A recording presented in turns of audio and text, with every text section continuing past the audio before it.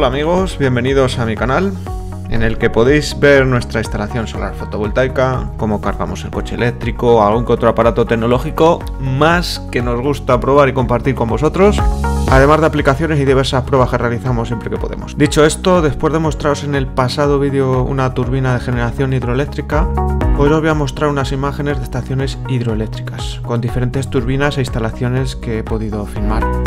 Venga, vamos al lío.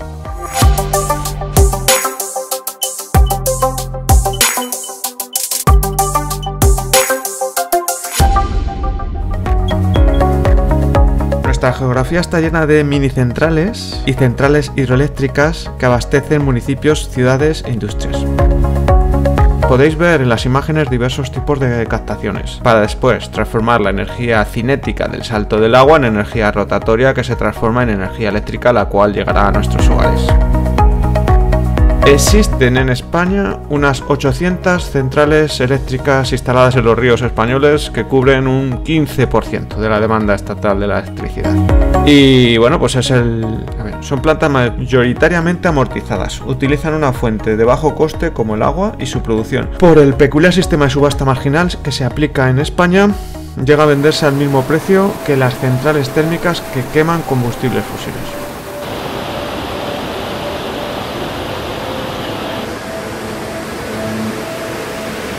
Esta y aquí se ve que no baja tanto agua como el que entra. Se ve, ¿no? en algún sitio tiene que ir el agua. Aquí sale la energía, aquí tiene que estar la generación. Ahí tienen sirenas unas bocinas y antenas de comunicaciones y un pararrayos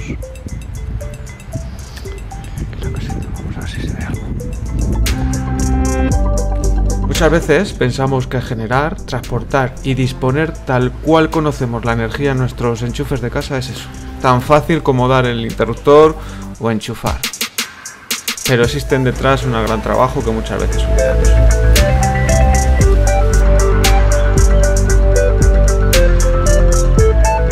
Esta central, la central de Seira, que os muestro en las imágenes, comenzó su fabricación en 1912 concluyendo en agosto de 1918.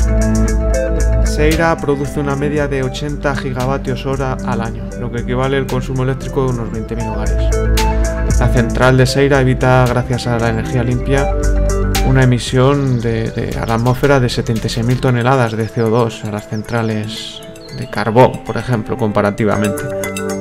Las piezas más destacadas de la central son tres turbinas Francis, que dan unos 8.000 kilovatios de energía eléctrica a sus respectivos alternadores. Cada alternador pesa 63 toneladas. Juntas, estas turbinas suman una potencia de 36,7 megavatios. Las obras para construir la central de tendido eléctrico que llevaría la energía hasta Cataluña, con 273 kilómetros de cable, congregó alrededor de 2.300 trabajadores. A base de fuerza humana, pico, pala y dinamita para tirar abajo las peñas.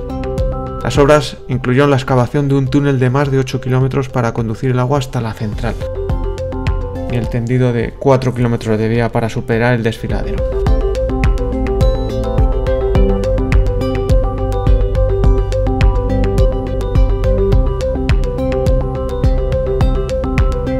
En este recorrido, como veis, en el elemento común y fundamental es el agua.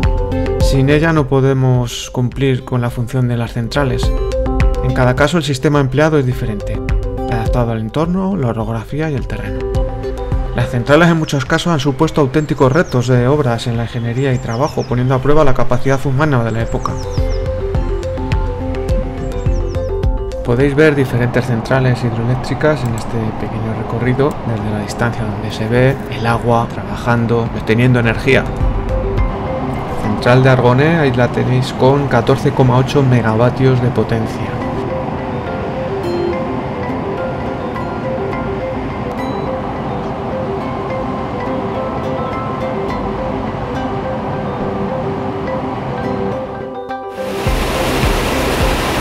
Una de las que más me gustó, la estación de campo, es curioso ver cómo el agua entra del embalse a la captación, ahora lo veis. En el propio embalse tiene un agujero tal cual que da hasta pavor verlo, porque esto parece que te traga, sin ninguna protección alrededor y demás, no sé, pero parece miedito el agua.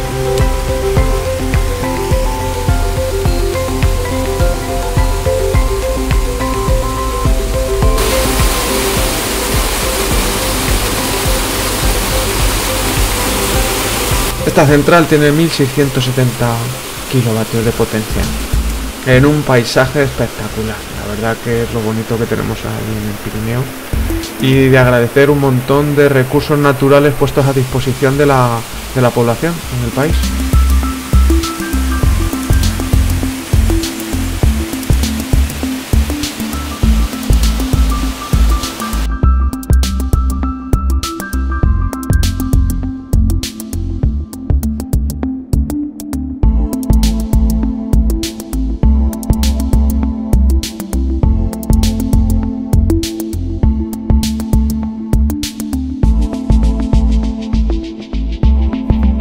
Podéis ver también el Museo Pirineico de la Electricidad, con piezas de grandes dimensiones que se exponen, como una válvula de compuerta, cuyo peso es de 5 toneladas, un servomotor de una válvula esférica, un interruptor de 3 toneladas de peso en vacío y 130.000 voltios de potencia, o una turbina del mismo peso, 3.000 kilos.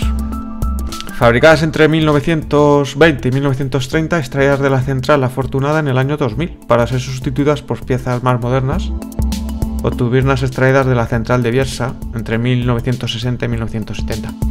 En los distintos paneles con ilustraciones se explica en francés y español de su composición y cómo están colocadas y su función, las piezas que integran, algunos detalles y curiosidades con los que en los años 30 la central hidroeléctrica La Afortunada proporcionaba energía eléctrica a la ciudad de Bilbao y a todos sus barrios industriales.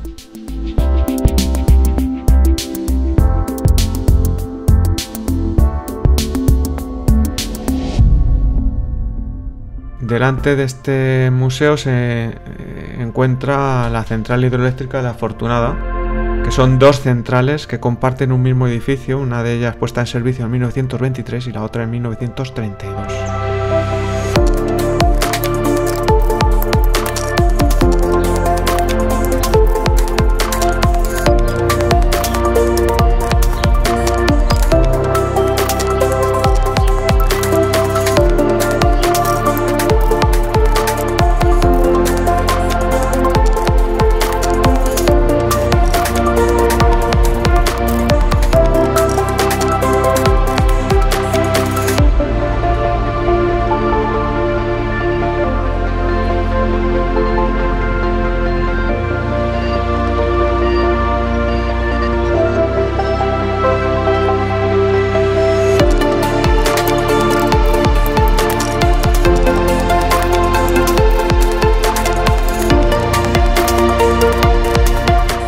Suma de las centrales, la Fortunada Cinca, la Fortunada Cinqueta, que componen el espacio, la convierten en la más grande del Pirineo, con 41,4 megavatios más 40,8.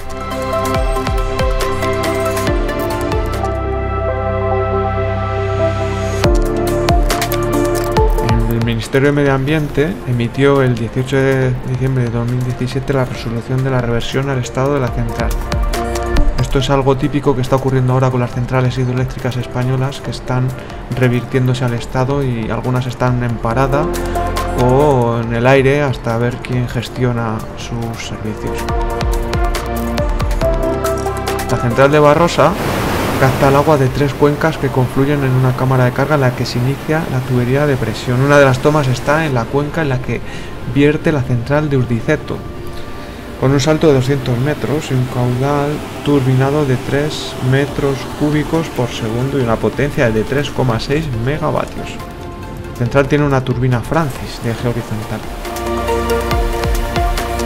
En la página web os voy a dejar un artículo que he preparado con información sobre el funcionamiento de las centrales, enlaces de interés para saber dónde y cuáles son las centrales más grandes de España y alguna información muy interesante. No lo perdáis porque seguro que si queréis ampliar vais a poder ver más datos de interés. Ojalá os guste la información que os he preparado, la verdad que la historia de España es maravillosa en estos aspectos y más cuando vas descubriendo grandes historias e ingenios planteados ya hace muchos años.